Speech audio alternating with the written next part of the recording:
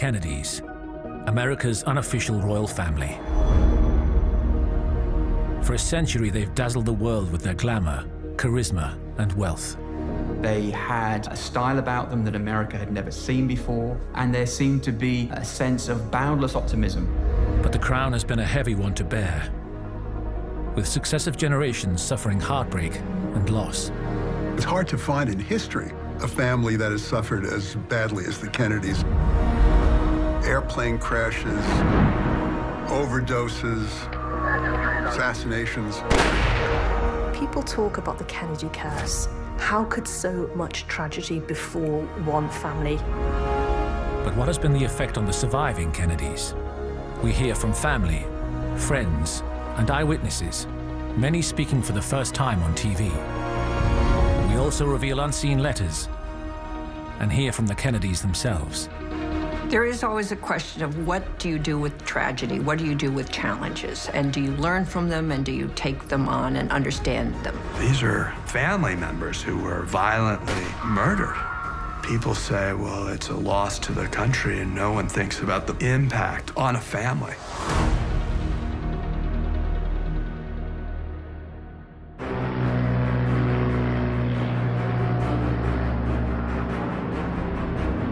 July 16th, 1999. A plane carrying 38-year-old John F. Kennedy Jr., his wife and sister-in-law, takes off from New Jersey and then disappears from radar. All of a sudden, the nation's attention again turns to this plane that's been lost. And they know it's tragic again. And they feel the same sort of emotions that they had felt, the whole country turning again, watching the Kennedy family suffer. Three days later, search teams located the wreckage off the coast of Martha's Vineyard. There were no survivors. Patrick Kennedy is JFK Jr.'s cousin and Ted Kennedy's son.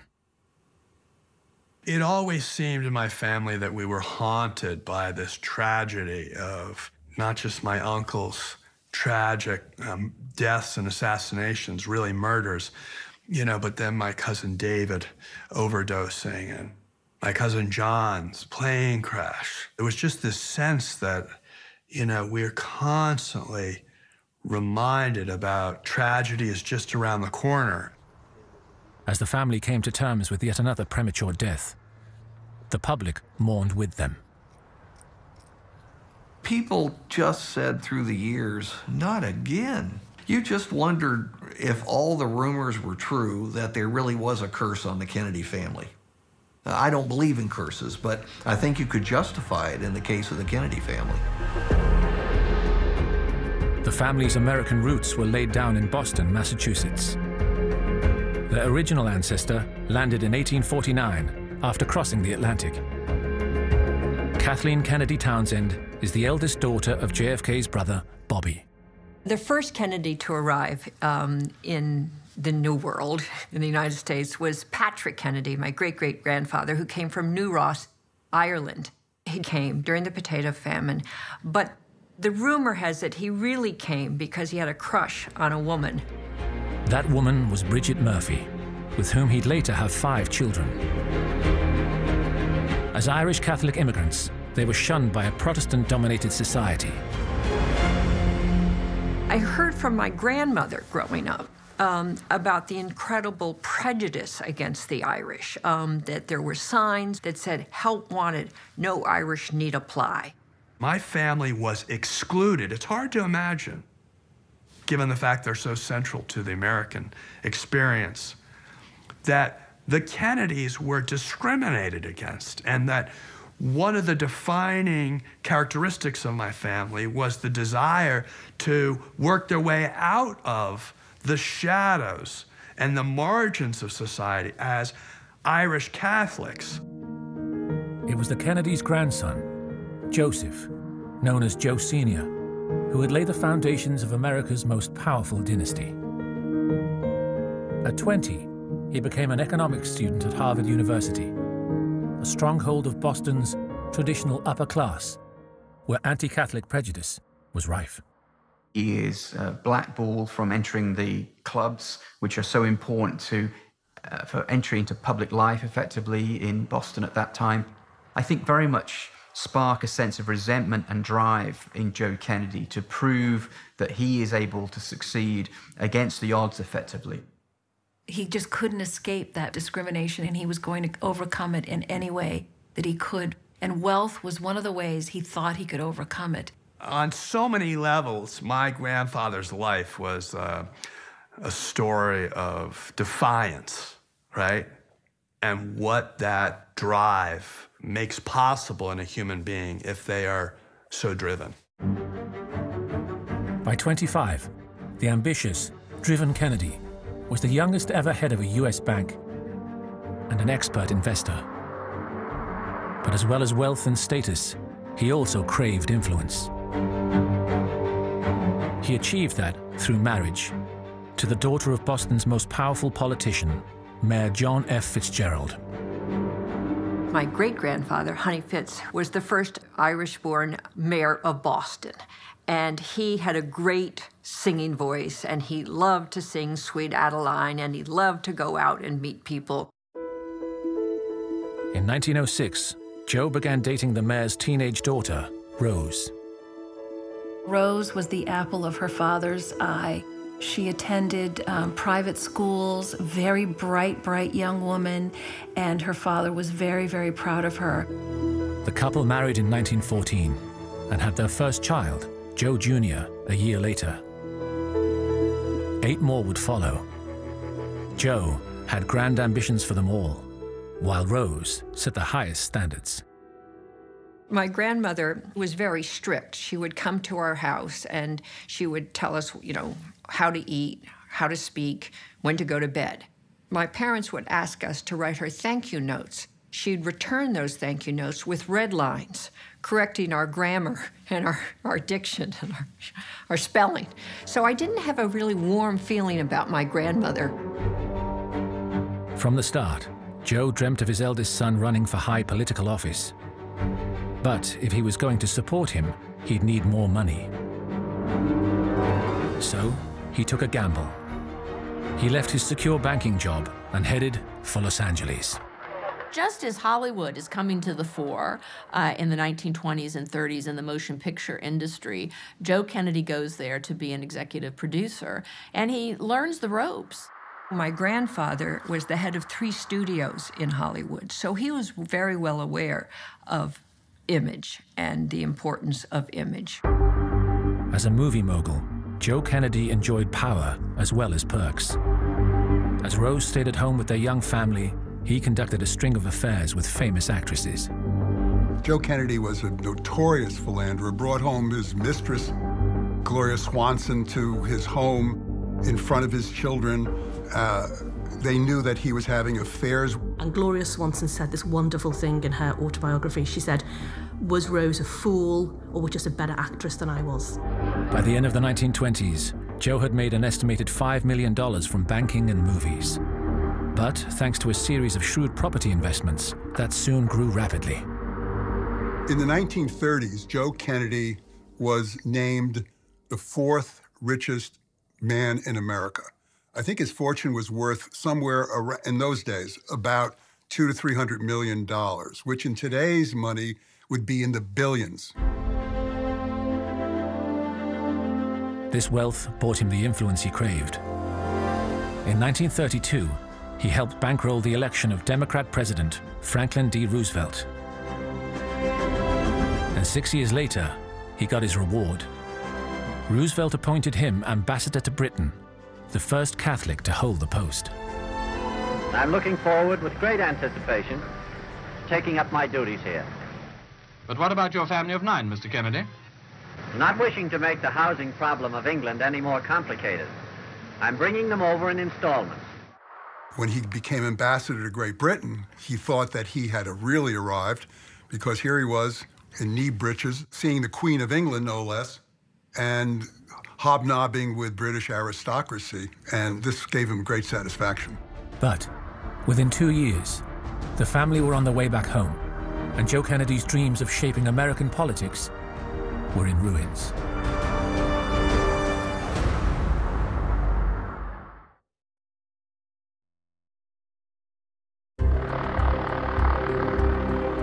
1938, Joe Kennedy was America's ambassador in London, and his family were British media celebrities. But when war broke out a year later, relations with his new country would sour. Joe Kennedy was absolutely convinced that Hitler was going to win. He just said within two weeks Hitler will be in Buckingham Palace. He absolutely believed it. And he also believed this was not America's war. And that was because he knew his sons were raised in such a way they would sign up. And so, as the war came on, he wanted to appease Hitler to try to avoid war. This did not go over well, either in England or the United States, and that was the end of both his diplomatic career and it was also the end of Joe Kennedy's career aspirations to be President of the United States. With his own political prospects in tatters, Joe Kennedy headed back home and transferred all his grand ambitions to his eldest son. He was determined that Joe Jr. would become the future president of the United States. Joe Kennedy Sr.'s favorite was Joe Jr. Um, because he was the first and he was the golden boy. And he followed all of Joe and Rose's rules. And he was so successful. He was a good student, he was a star athlete. Air Cadet Joseph P. Kennedy Jr. reports for preliminary training. With other college men, he'll try for Navy wings. When America joined World War II, Joe Jr. enlisted as a Navy pilot. His father viewed it as the ideal career move for a future president. But he also worried about potential obstacles on the way to the White House. Chief among his concerns was his eldest daughter, Rosemary. When she was born, the doctor was late, and the midwife more or less pushed the baby back in, didn't want the baby to be born until the doctor was there. And the baby was starved of oxygen, which meant that Rosemary had a mental age of about 11 for the rest of her life. As a youngster, Rosemary was keen to enjoy the same social life as her friends, but fitting in was difficult. My father used to tell me that when they went to these social parties in Palm Beach and the like, my uncle Jack would see his sister Rosemary kind of shunned because she was different. And my father said, Your Uncle Jack used to go and sit beside her or stand and talk to her instead of all the fancy people at the parties. Because of her intellectual afflictions and learning disabilities, she also suffered from quite a bit of anxiety. Uh, and she began to lash out. Uh, her temper tantrums became more violent, and they would have to call in a doctor to try to sedate her. For her parents, such conduct was not only embarrassing, but potentially damaging to the family. Joe and Rose did not want imperfection in their children. During that time, there was a stigma attached to having children with mental illness or intellectual disabilities. And they didn't want anyone to know because it might affect the chances for their sons and their careers. In 1940, Joe arranged for Rosemary to attend a summer camp in Massachusetts. He hoped the experience would improve her behavior. But instead, it worsened. Terry Marotta's mother and aunt were in charge of the camp. My mother and aunt were frantic about her behavior because they felt that, that her presence was compromising the safety and well-being of everyone else in the camp. Soon, the camp's owners even feared she'd become pregnant while staying there. Rosemary was very beautiful. Some said that she was the most beautiful of the Kennedy women. She was tallish for her time. She was voluptuous. And Rosemary is wandering off into the woods at night, and um, they become extremely fearful that something is going to happen to Rosemary, and they can't spend all their time watching her. After three weeks at the camp, matters came to a head. Terry's mother, Caroline Sullivan, wrote to Rose saying her daughter would have to leave. This is the letter, now seen for the first time. She was so difficult of adjustment in our group of normal young children that, for the well being of everyone, I found it necessary to give my own constant attention to her. The situation turned out to be so impossible that after giving it every effort, and a thoroughly fair trial, it seemed necessary to request from you the end of her stay at camp. Rosemary left soon afterwards and wrote back to Terry's mother. I'm so sorry you had to lose me. It's not my fault, darlings. Have everybody write me a short little note. I've been crying over it. I know you all loved me so. I'm going to be a bit tired from all the studying this summer and the fall. My love to all, Rosemary.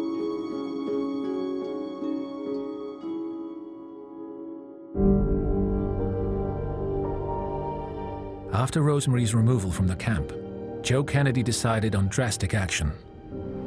Without Rose's approval, he paid doctors to perform a new type of brain surgery on their 23 year old daughter. In November 1941, she underwent a prefrontal lobotomy. The procedure at the time required drilling into the side of the skull. The doctors uh, strapped Rosemary down on the table and they asked her to count back from a 100 and to sing nursery rhymes. And when she could no longer do those things, they knew that the operation was complete. But that operation was mishandled.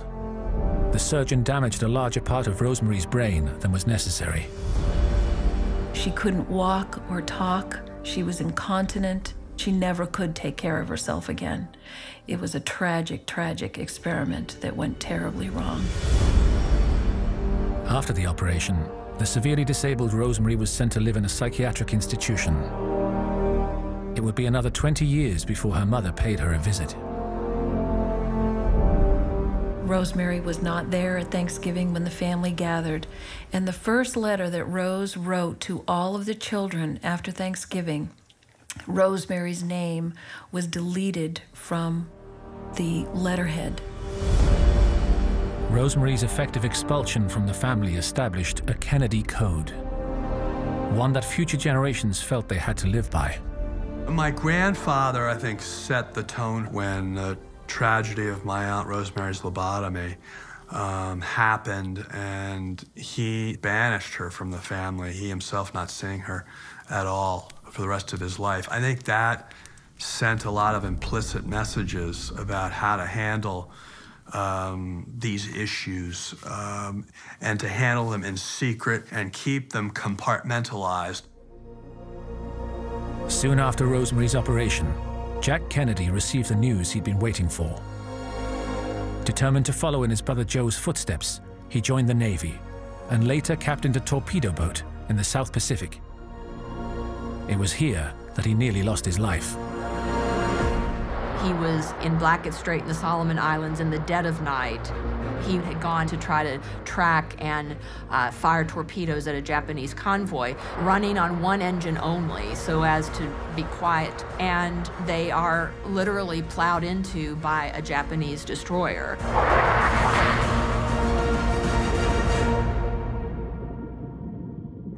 All 14 men on board were declared missing and presumed dead. But one week later, Jack, along with 10 of his 13 crew, was found alive on the Solomon Islands. On September 12, 1943, he wrote to his parents from the South Pacific. The letter is now owned by his nephew, Patrick. He writes um, about losing, you know, two of his crew members, and uh, it was devastating, obviously. In the, but he's talking about going back out, and uh, he talks about um, lost most of my old crew except for a couple who are being sent home, and I'm extremely glad for that. First of all, that isn't that nice? Obviously, he's so happy uh, the men that he was leading have a chance to go home to their families. Well, at the very end, it's kind of funny about how he says, uh, It's uh, hot as the devil here, hence the letter is blurred. Uh, you know, meaning he's perspiring over the uh, letter.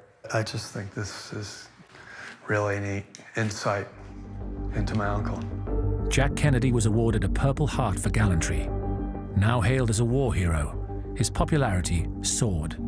And for the first time, his father began to view him, rather than his older brother Joe, as a potential president that must have stuck in the craw of Joe Jr. because here was this goof off brother now being the great hero of the Navy and of his family. Joe Jr.'s determination to regain his position as the favored son would prove catastrophic. In 1944, he was due to return home from active service in Europe, but he then agreed to take part in one last bombing mission Operation Aphrodite. With Operation Aphrodite, it involved B 24 large military aircraft that were about to retire, that were packed with huge amounts of explosives and they would fly up to 2,000 feet, and then the pilots would jettison out of the airplane with parachutes, and these planes would be remotely controlled and then blow up specific targets. Despite a warning that the electrics on the plane might be faulty and could detonate the bomb accidentally, Joe Jr. chose to go ahead with the mission. There's a very strong argument that one of the reasons Joe Jr. took the decision was because at some level he was jealous of Jack's PT 109 heroism. And because they were so competitive, Joe wanted to go one step further. His father said, Don't be a hero, you've done everything. And he said, I've just got one more mission. The mission took place on 12th of August 1944. That evening, 10 year old Michael Muttitt was playing with his brother outside their home near England's Suffolk coast. We could hear the Mustang fighters and then we heard a heavier sound coming along. Turned to see a Liberator bomber. As Michael watched the plane pass, disaster struck. The Liberator uh, disappeared in an enormous fireball.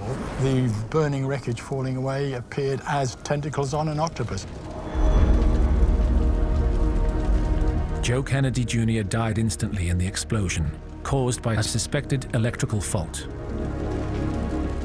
Joseph P. Kennedy Jr. Uh, was a, a war hero, died over the skies of Europe. What a sacrifice, but what a noble sacrifice trying to fight the Nazis and fascism. Although Joe Sr. lost his favorite son, his burning ambition remained. He now pinned all his political hopes on Jack. They had long ignored any of Jack's um, abilities and qualities because they were so focused on Joe. So when Joe Jr. died, they had to look at Jack, and Jack had to stand up and, and take on that role, which was a tremendous burden. But just as he began steering Jack's political career, another family member threatened to derail it. 23 year old Kathleen Kennedy, also known as Kick, was living in England and serving with the American Red Cross. Kick was vivacious and had a lot of guts and spirit. And that apparently was unusual for most of the British, who were a little more restrained. And so I think people were attracted to that life, liveliness. Kick had begun seeing a wealthy English lord, Peter Fitzwilliam. But, in her family's eyes, the relationship was wildly inappropriate. Not only was he a Protestant, he was married with a daughter. Kick's parents were furious. Rose, in particular, was incandescent with rage. She said to Kick, If you marry this man, you will be dis- disinherited and you will not speak to another family member again. Kick, once again, was determined to defy her family and to defy her faith. She then said, I've lost my mother but I'm going to get my father on side. In May 1948, Kick arranged to meet her father in France, where he was on business. She and her new boyfriend chartered a plane from London, then stopped off in Paris to refuel. Peter and Kick went into Paris to meet friends for lunch. They came back late, by which time a storm had been brewing. At first, the pilot refused to resume the flight, arguing that it was too dangerous. But eventually, Peter talked him round. It's quite extraordinary that Peter Fitzwilliam persuaded the pilot to make that flight. The pilot was quite adamant. They were too late, they were flying into the eye of the storm. The speculation may be that Peter paid him off. The plane took off three hours later than expected, and just as the pilot had warned, they hit the storm.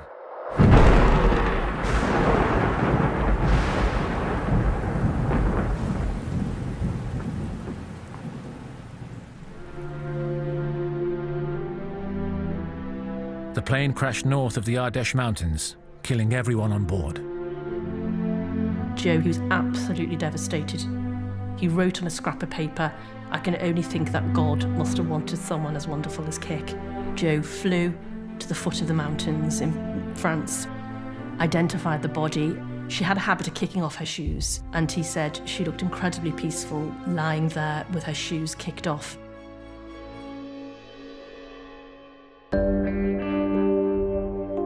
But even in the throes of mourning, Joe Sr. was thinking about the potential damage to the family name. He was determined to keep key details of the accident from public view.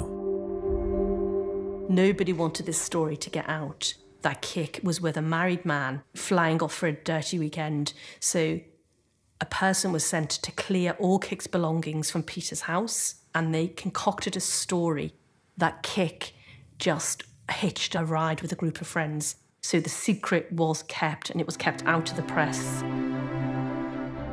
Kick herself was whitewashed out of the Kennedy family because of the disgrace that Rose felt that she'd brought.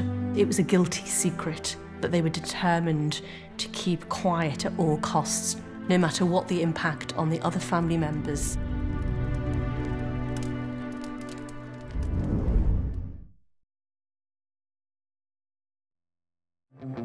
With two siblings dead and a third institutionalized, Jack Kennedy threw himself into politics with renewed vigor. In 1953, he was elected to the US Senate. But both his parents believed the American public would never accept a presidential hopeful who was single. So, when he introduced them to his new girlfriend, Jacqueline Bouvier, their advice was instant marry her. Joe Kennedy and Rose Kennedy were immediately taken with Jackie because they realized she was a perfect match for their son. Uh, she was great in public, she was beautiful, and she was from uh, the elite of society. The couple married in September 1953, and, as ever, it was Joe Kennedy who took charge of the proceedings. Jackie thought that she was having a wedding Joe Sr. thought he was having a wedding slash campaign fundraiser, and he won out. She didn't even get to pick her dress, and she later complained that she looked like a lampshade. In November 1957, Jackie gave birth to a daughter, Caroline. Appearance wise, JFK now had everything necessary for high political office youth, energy, good looks, a beautiful wife, and a happy family but much of it was a facade. Like his father before him, Jack Kennedy had become a serial adulterer. The Kennedy family were raised in a very interesting way. Rose was there to look after the girls. They were encouraged to be well behaved, to go to mass, to be um, perfect daughters, sisters. The boys were raised by Joe, and there was a sexual double standard. They were encouraged to be macho, to sleep around. So, right from the start, it was split down the middle on a gender basis. With his womanizing kept secret, JFK's career continued to flourish. In November 1960, he was elected president. The country had never seen anybody like that before. He was young, he was handsome. Uh, he had a beautiful wife, Jackie. Uh, they, they appeared to be royal in many ways, and they were sexy, and they were full of enthusiasm for the future. And it really was a new era in America, ushered in by this family. It was so cold during the inauguration. And then afterwards, um, uh, we were lucky enough to go to the Treasury Department to watch the parade. But what was really stunning, of course, was President Kennedy's speech because they thought it was one of the great inaugural addresses. And so, my fellow Americans, ask not what your country can do for you, ask what you can do for your country. It was a very exciting time to be uh, part of our family. But within months, the head of that family Joe Sr. became a shadow of his once formidable self. My grandfather had a stroke in 1961. So from 1961 till he died, I mostly knew him as a person who couldn't move very much or couldn't speak. But my father and my uncles, Jack and Teddy, would always go and see him, and, and I think showed enormous respect and love for their father.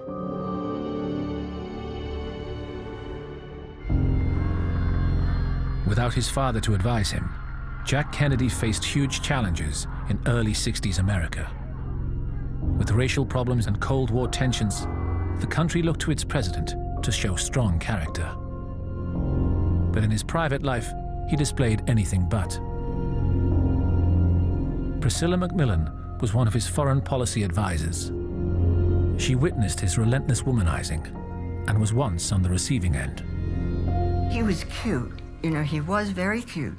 But I said to him, if you weren't a married Catholic politician, you know, I might take you more seriously. And he said, a little late, isn't it? I, I didn't completely like him. I mean, he gave off a lot of light and quickness, you know, joking, but not warmth. Despite being one of the few women to turn JFK down, Priscilla became a friend and confidant. Well, I asked him, why do you risk it all uh, with running after girls?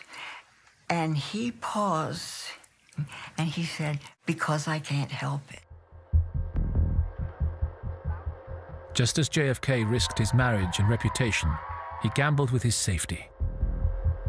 In November 1963, he was scheduled to visit Dallas, Texas, as part of his re election campaign. But with mounting opposition to his stance on civil rights, he was advised to steer clear. Dallas was a hotbed of right wing hostility toward Kennedy and his administration and was known to be a dangerous place to go to. That were right wing extremists. They were well known to the police and to the FBI. They were rich enough to buy full page uh, newspaper advertisements. Despite receiving death threats, JFK decided to go ahead, taking Jackie with him. He also made a series of risky decisions about the security arrangements. He specifically gave instructions to the Secret Service not to ride on the sides of his uh, automobile. He said he did not want a bubble. He wanted to be exposed to the uh, population. But his recklessness led to the Secret Service not taking this kind of uh, measures that they should have taken. During the drive through the city, JFK asked Jackie to remove her sunglasses so onlookers could see her face. They would be his last words to his wife.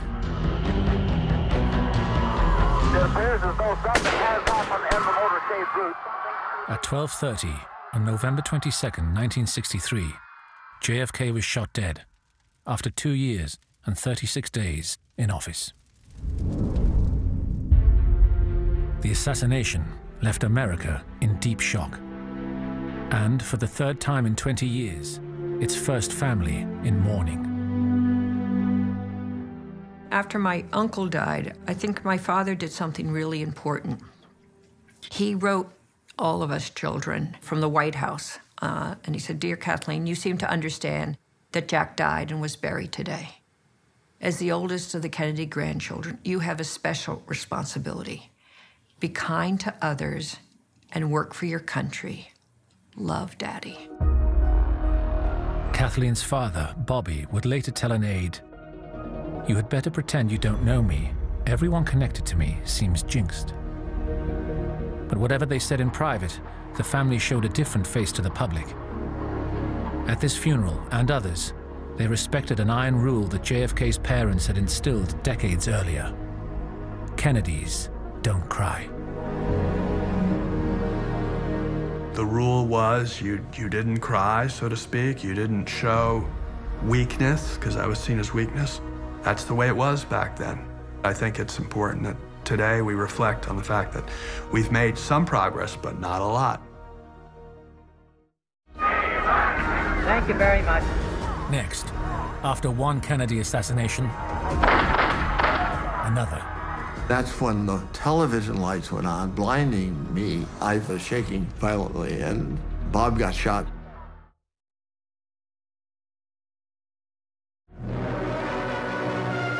A nation mourns, the world grieves.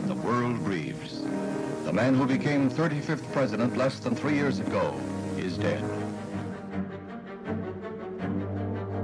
John F. Kennedy's assassination at the age of 46 was the fourth tragedy to affect the family in 20 years. I know that the world shares the sorrow that Mrs. Kennedy and her family bear. In 1963, when President Kennedy is assassinated, it has a devastating impact not only upon the nation but on the family as well. The idea that the family is now going to need to regroup uh, under a new, a new leader, uh, Robert Kennedy, who is now going to assume responsibility not only for his own growing brood of children, but also for the president's own two children. Bobby Kennedy had served his late brother as America's Attorney General. Even before the assassination, the string of disasters affecting the family had haunted him.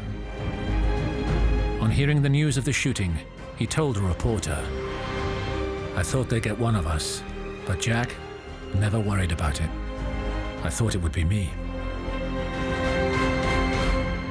A year after John Kennedy's assassination, Bobby said, and I'm quoting, somebody up there doesn't like us. Um, so he started thinking about uh, a curse without using the word. Although devastated by his brother's violent death, Bobby refused to let it destroy the family's ambitions to be leaders in public life. Shortly after the assassination, he penned a message to his then 12 year old daughter, Kathleen. It was all about be kind to others, work for your country, help your family, and love. And I think the fact that he did that helped our family move move on and say, what is our responsibility? It's not to look at, you know, what happened exactly. It's to say, what can we still contribute? By the time of JFK's death, his youngest brother was also in politics. Ted Kennedy had been elected to the U.S. Senate just a year earlier. My father was absolutely a brother in arms with his brother Jack. They were as tight as can be. This family was completely traumatized. Not only had they just lost Jack, my father was suffering. My mother spoken to me about how absolutely shattered my father was. But Ted Kennedy also resolved to honor his brother's legacy. On June 19, 1964, he helped vote through the controversial Civil Rights Act, championed by the late president. That same night, he was due to fly to the Democratic Party convention in Springfield, Massachusetts. Flying alongside him were three fellow passengers, including his close political aide, Edward Moss. At 10:30 p.m., the pilot took off despite the bad weather warnings. But just as it neared its destination, the plane hit dense fog.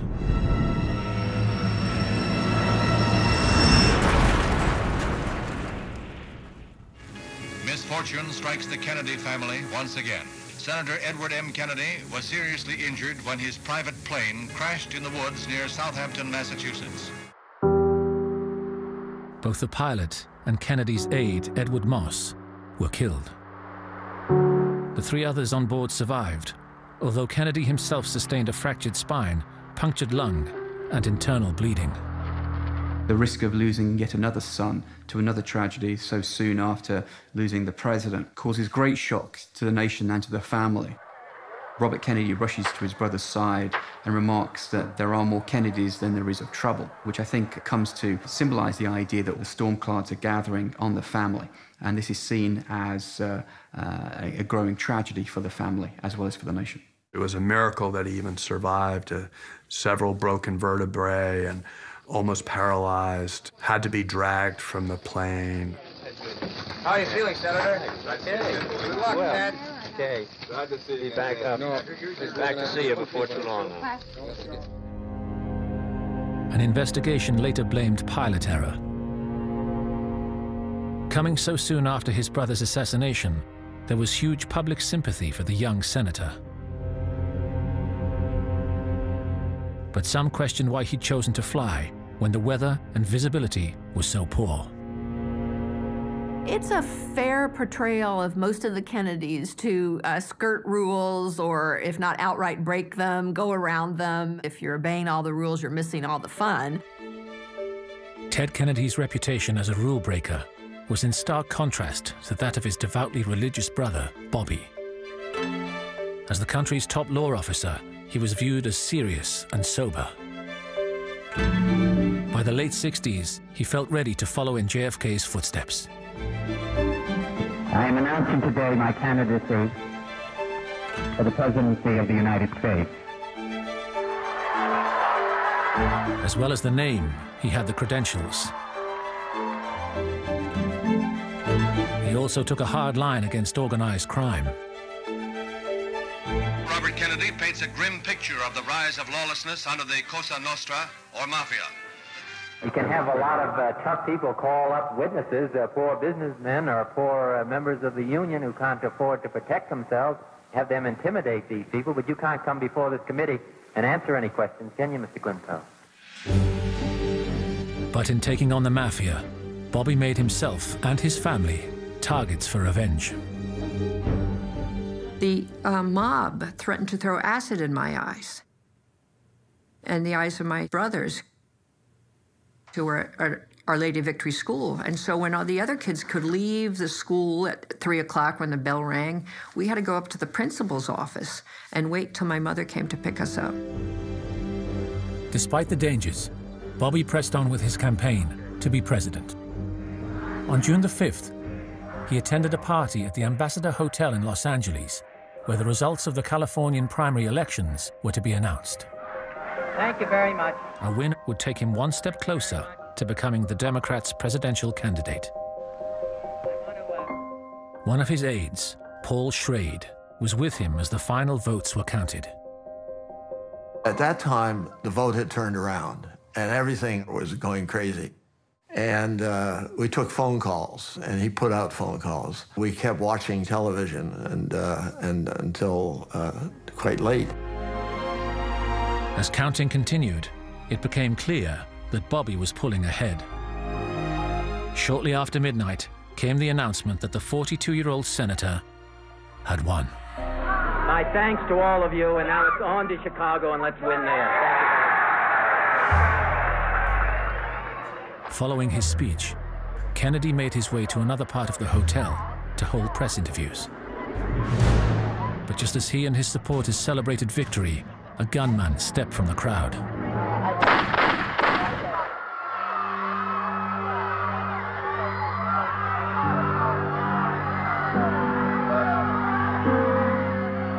That's when the television lights went on, blinding me. And I got shot. I, I didn't know I'd been shot. I thought I was being electrocuted because I was shaking violently. And, and uh, Bob got shot. Around 26 hours later, he died in hospital as a result of his wounds.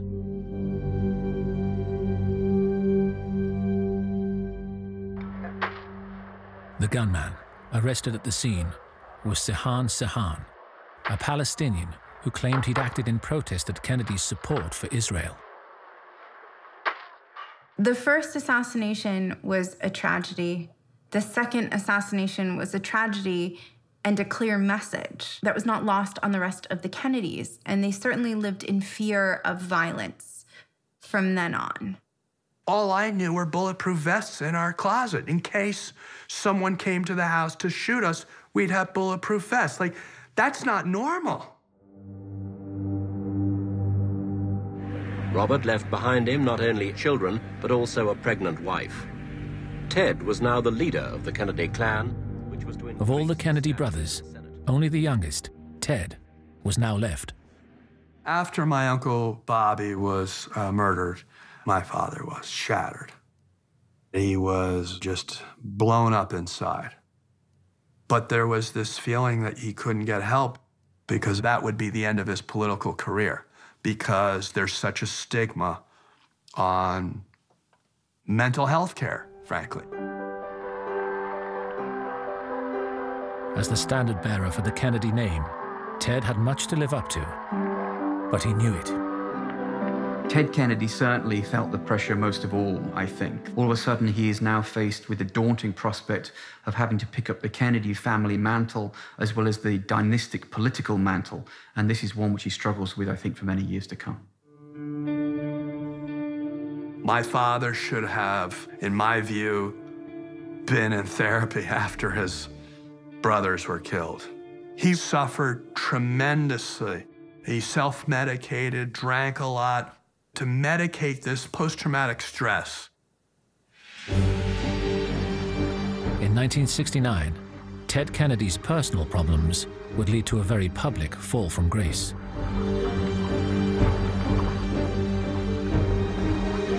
On July 19th, just 13 months after Bobby's assassination, he walked into a police station on Martha's Vineyard, Massachusetts, to report an accident.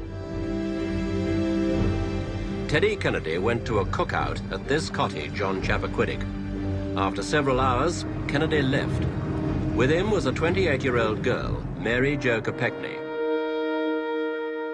Kennedy told police he'd lost control of his car while driving across a narrow bridge on Chappaquiddick Island 10 hours earlier.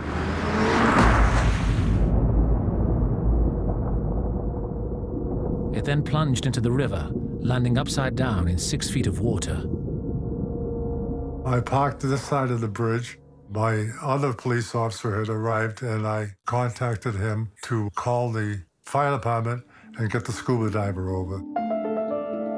The diver arrived at the scene 20 minutes later. He went under, and he came up to me, uh, telling me that there's a body in there. He worked his way out of the car and up to me I had her laying on my lap uh, for a while. Police identified the body as that of campaign worker and singleton Mary Jo Kopechne, who'd been at the party with Ted Kennedy the night before. The so-called Chappaquiddick incident created world headlines.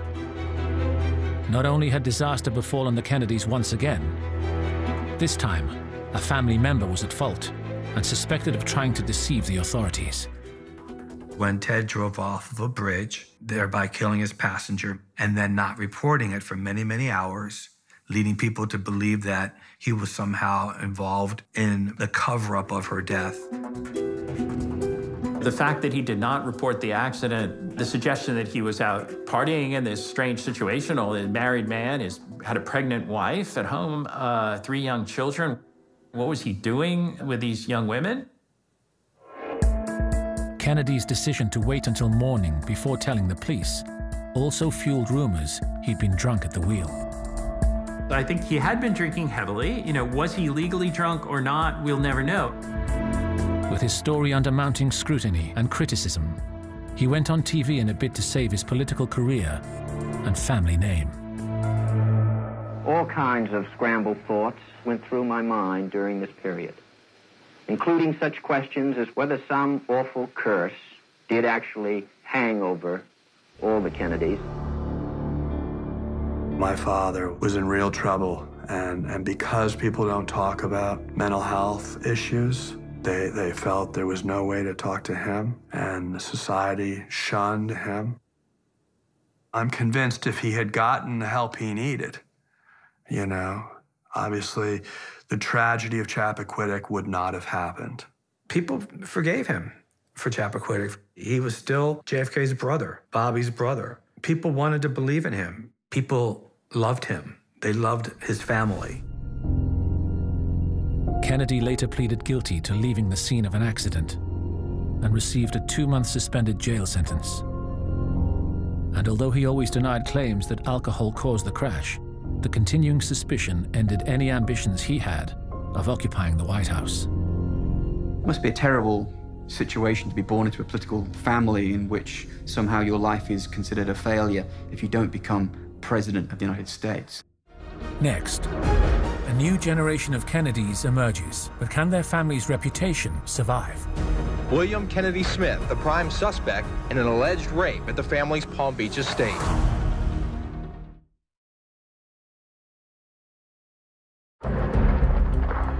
After such a hopeful start, the 1960s was a dark decade for the Kennedys. For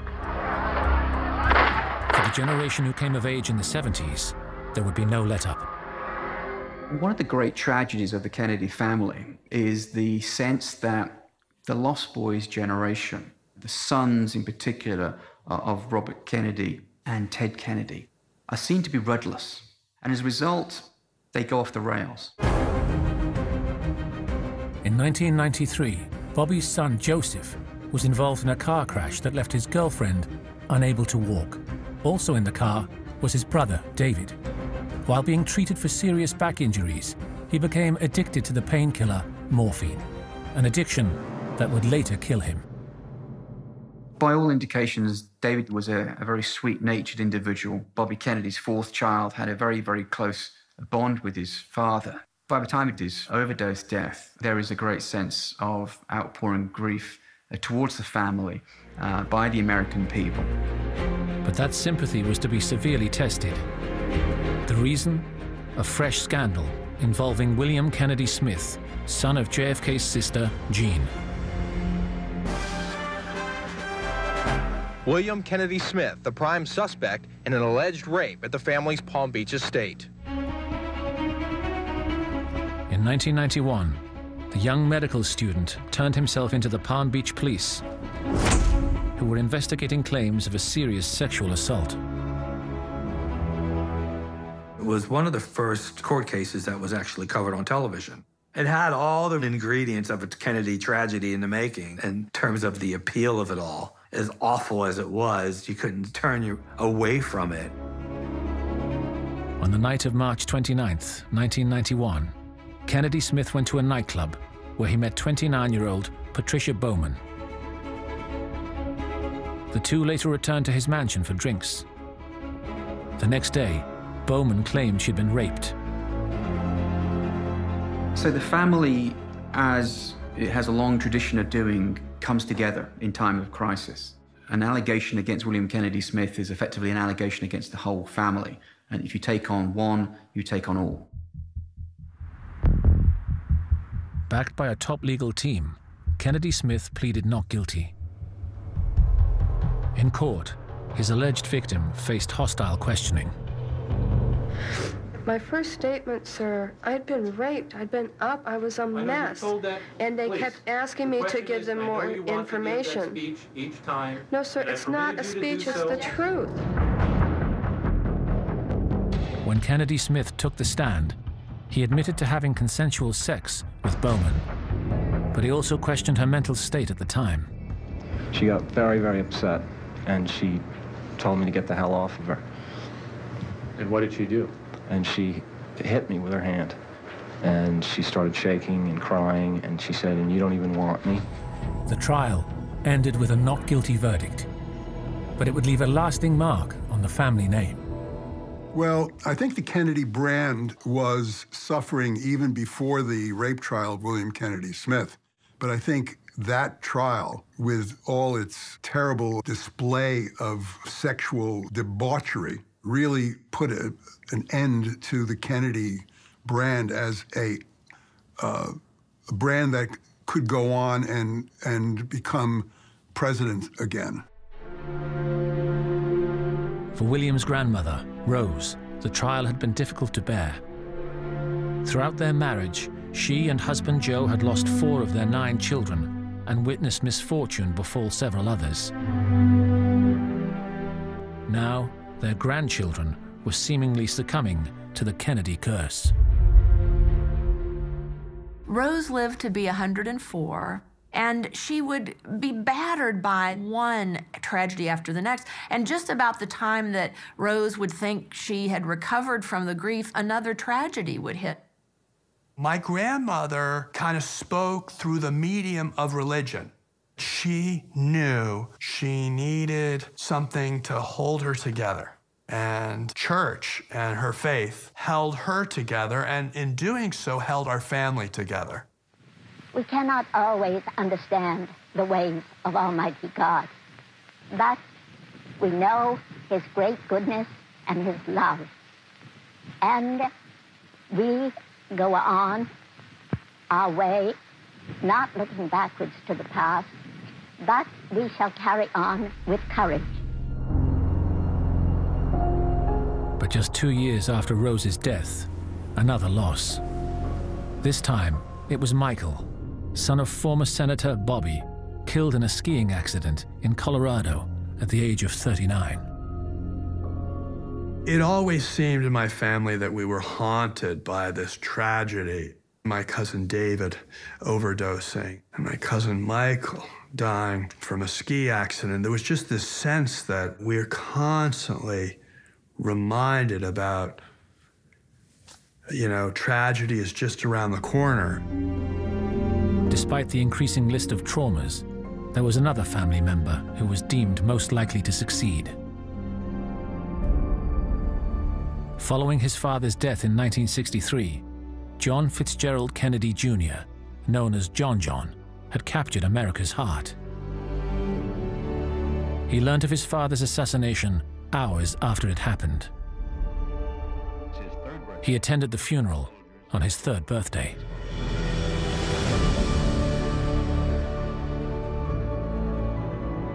Well, it is a famous picture of John saluting his father, and I think that it comes very much from his mother, who understood the importance of the occasion, the fact that this was a real tragedy. And that kind of grace certainly helped our country, but also helped our nation.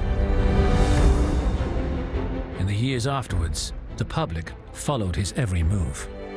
John F. Kennedy Jr. was in many ways America's prince. He'd been born uh, during his father's time as president elect. He'd grown up uh, as a young boy in the White House. Uh, Americans had fallen in love with him as a child and was a young man with a great future. You know, JFK sort of was like his dad. He also had a way of making you feel that you were the only person on the planet in that moment that you were speaking to him. He was accessible the way a politician is accessible. After a successful law and media career, JFK Jr. began showing an increasing interest in entering politics. JFK was a beacon of hope to the public who always felt that he was next in line. But just as America's golden boy seemed set to follow in his father's footsteps, the country awoke to an all too familiar headline.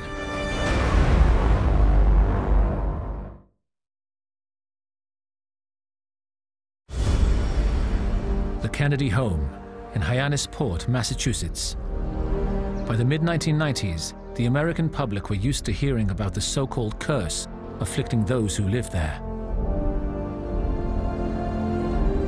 But there was one Kennedy who carried the family's hopes and ambitions for the future.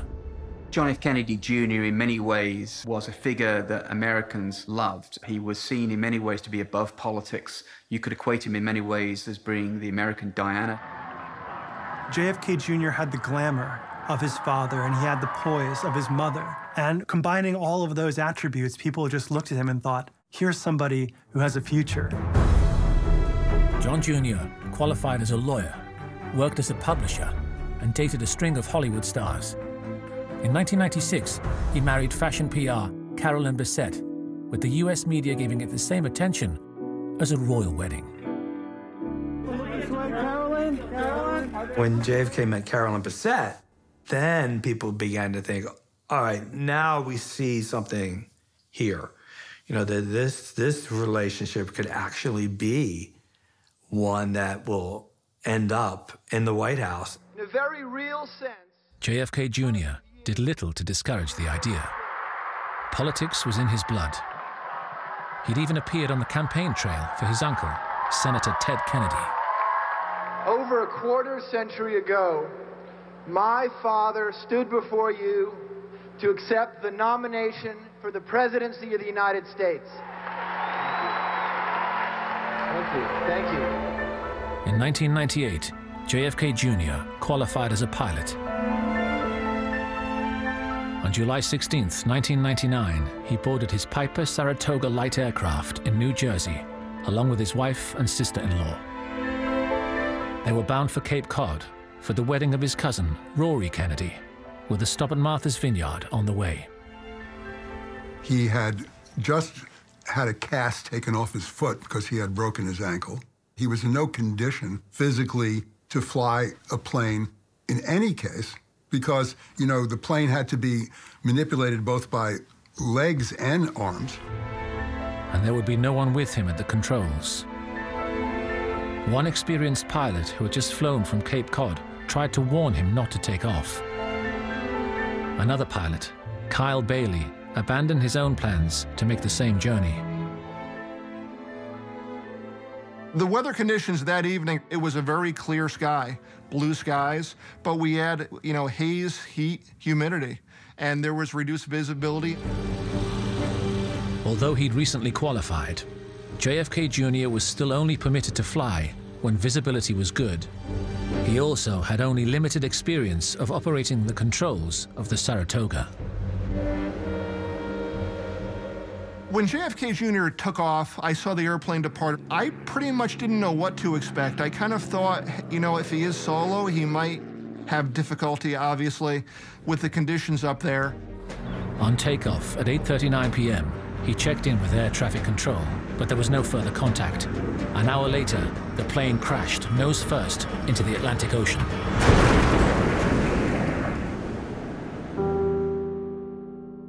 Two days later, Coast Guard said they'd given up hope of finding anyone alive. Rescue teams later pinpointed the plane wreckage. They then recovered three bodies from the ocean floor. Divers located the wreckage and the victims in about 120 feet of water off the tip of Martha's Vineyard. Now that they have located the remains of John Kennedy Jr., his wife Carolyn, and her sister Lauren Bessette, they were able to find some closure to this awful tragedy.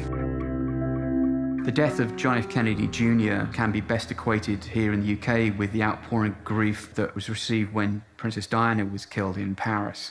The idea that you've seen someone who was the embodiment of grace and glamour and style and sophistication uh, being killed in tragic circumstances and many, many years before uh, their time. When John Kennedy and Bobby Kennedy were assassinated, the tragedy seemed commensurate with their position in politics. They were very important people. When fate picks out their children, when that happens, it seems as though fate was maliciously destroying the Kennedys with glee.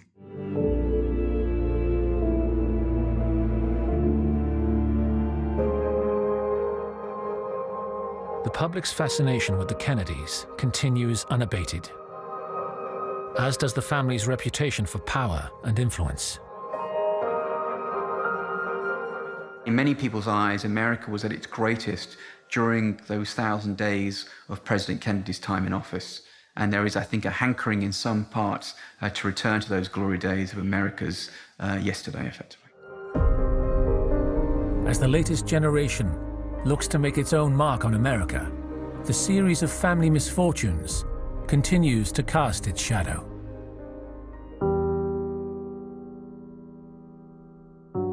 Since taking part in this program, Kathleen Kennedy Townsend has suffered another tragedy. Crews are out searching Chesapeake Bay for 40 year old Maeve Kennedy McKean and her 8 year old son Gideon. They were last seen on Thursday afternoon drifting in a canoe several miles offshore. Maeve, daughter of Kathleen and granddaughter of Bobby, disappeared with her son on April 2, 2020. In a Facebook post, her husband, David McKean, said they had climbed into the vessel intending to retrieve a ball, but then got pushed by wind or tide into the open bay. Police launched a rescue operation, but when they found the canoe, it was capsized and several miles from the shore. Maeve's body was recovered on April the 6th, her son's two days later.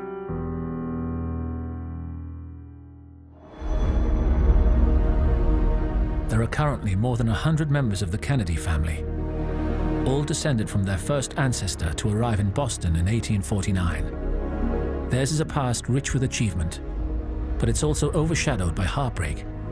Earlier generations overcame huge odds to gain status, wealth, and power. But in striving for success, they paid a heavy price.